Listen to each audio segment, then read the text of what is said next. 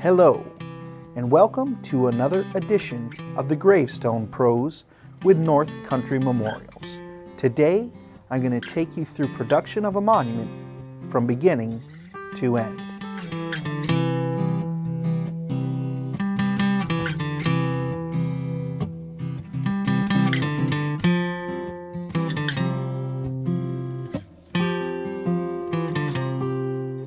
See my father, Kurt, the founding owner, uncrating a stone. Tell us a little more about that. We're just inspecting the stone here, making sure nothing got damaged in shipment. Uh, also looking uh, carefully for blemishes and uh, just want to make sure we have a good quality stone to work with. Nice. And what is Matt doing here? This is designing on computer with a CAD system. And the machine here is called a plotter, and it's a tiny little knife being driven by the computer, and it's cutting out the design in the rubber and uh, lettering, dates, and all of that. So it's putting all the information. Here you can see that me and Matt are cutting the stencil down. This is a larger stone, and so we had to cut it into smaller chunks to be able to get it straight onto the stone.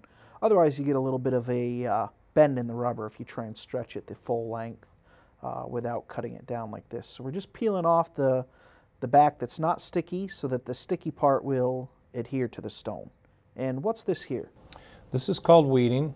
Uh, once the stone uh, is prepped, uh, we take and peel all the lettering and design out of that's been cut out of the rubber and uh, getting it ready for the sandblast part. So we're peeling everything that the plotter had cut earlier. Correct. Nice.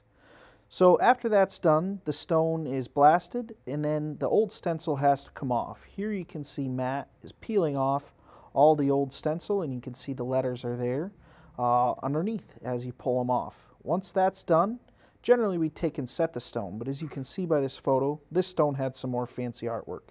Can you tell us about that? Right now I'm setting up to do what's called fine art etching. It's done with a vibrating Dremel tool, uh, diamond tipped etcher. Uh, we take from a drawing that the customer has approved and we trace that onto the stone and then once that's on uh, I get the, a little tool and start to do the artwork. And what kind of tool is that? It's an uh, engraver, diamond tip, it's vibrating and it actually scratches into the stone creating a, a light contrast onto the ba dark uh, background. Nice. And here's just some close-up photos of the finished artwork once it was all done on the stone. This is their family farm in Sugar Bush.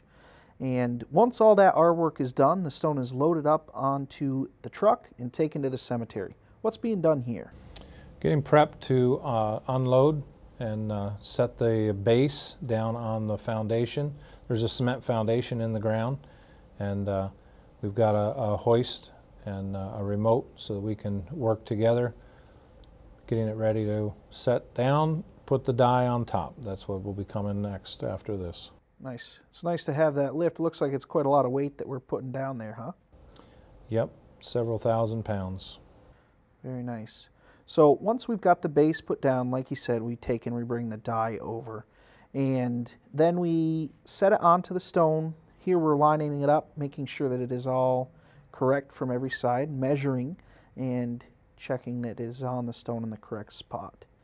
Then what's this here? Down around the bottom of this is a, it's we call a setting compound. It's a, a clay-like uh, substance.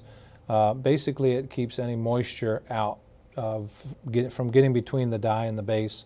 Uh, here in the North Country, we have a lot of freezing and thawing in the wintertime, and if there's water in there, it can actually move that die on top of the base. And uh, so we're just getting it set so it'll stay in place. Once it's all set, you'll see him trimming it up here in just a second and getting all the excess clay out of there.